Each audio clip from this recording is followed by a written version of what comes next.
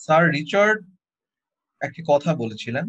আমরা তো থিওরি তো পড়ি, সো যেমন আমরা বিবিএ করেছি এমবিএ করেছি, আমরা পিজিডি এইচআরএম করেছি, আরও অনেক ডিগ্রিজ আমাদের আছে প্রফেশনাল মাস্টার্স আছে এইচআরএম এর উপরে।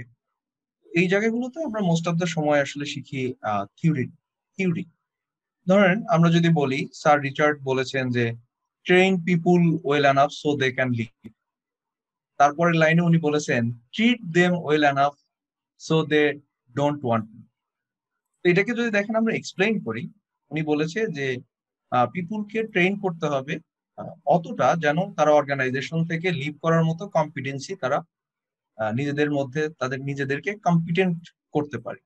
আবার এর সাথেই পরের লাইনে উনি বলছেন যে, তাদেরকে এমন ভাবে ট্রিট করতে হবে, তারা যেন অর্গানাইজেশন ছেড়ে না যায়।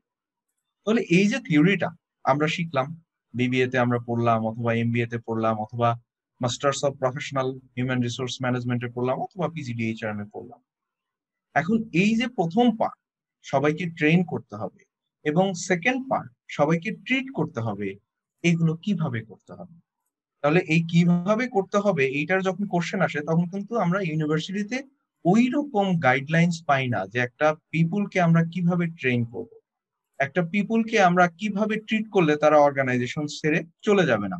তাহলে যখনই কোশ্চেন আসে, তাদেরকে ট্রেন কীভাবে করতে হবে?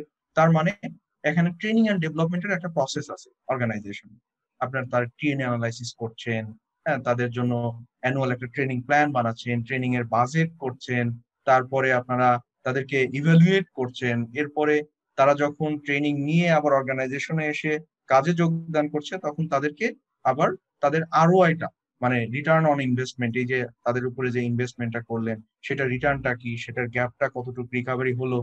নাকি হলো না এই বিষয়গুলো নিয়ে কাজ করছেন? তাহলে এই যে প্রসেসটা কীভাবে হবে? এখানে আপনার কি কি টুলস লাগবে? কি কি ফর্মস অ্যান্ড ফরম্যাটস লাগবে? এই বিষয়গুলো কিন্তু আমরা ওইভাবে একাডেমিতে শিখি না। আবার যদি সেকেন্ড লাইনের কথা বলেন, স্যার রিচার্ড বলেছেন যে treat them well enough so they don't want to এখন এইটার যদি আপনি তর্জমা করেন অর্গানাইজেশন আপনার এইচআর ডিপার্টমেন্টে তাহলে হচ্ছে কি তাদের কম্পেনসেশন ম্যানেজমেন্ট নিয়ে কাজ করতে হবে। কম্পেনসেশন ম্যানেজমেন্ট নিয়ে কাজ করতে গেলে তাদের জন্য আপনার পে স্কেল বানাতে হবে, তাদের অ্যাটেন্ডেন্স মনিটর করতে হবে, তাহলে এইখানে কিছু কাজ আছে, তাদের লিভ নিয়ে কাজ আছে হ্যাঁ? তাদের ল রিলেটেড যে সমস্ত লেবার ল কমপ্লায়েন্স করে যে সমস্ত আপনার বেনিফিটস আছে, সেগুলোকে ইনশিওর করতে হবে।